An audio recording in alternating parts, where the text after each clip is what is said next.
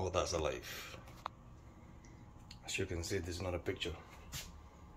And the fish right there. This is a real planted aquarium.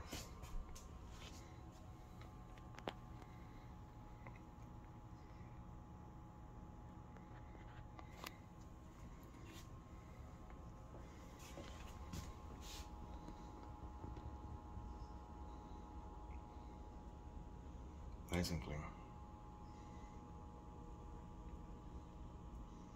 Guys are alligators.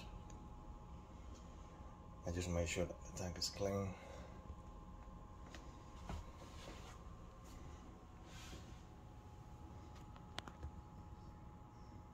This is real color, guys. This is not like it just uh, I haven't been playing with colors and all. This is real colors. Easy to maintain. I haven't changed the water in a month. Just clean the glass and that's it. It's like an ecosystem. Once the tank is established enough, because that's the job himself. I have two Chihiros baby two up there. Of course running CO2, 8 hours a day. So is the lights.